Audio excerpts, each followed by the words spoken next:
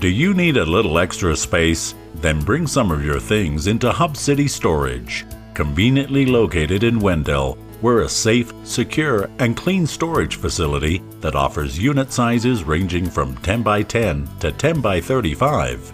We will handle all of your storage needs.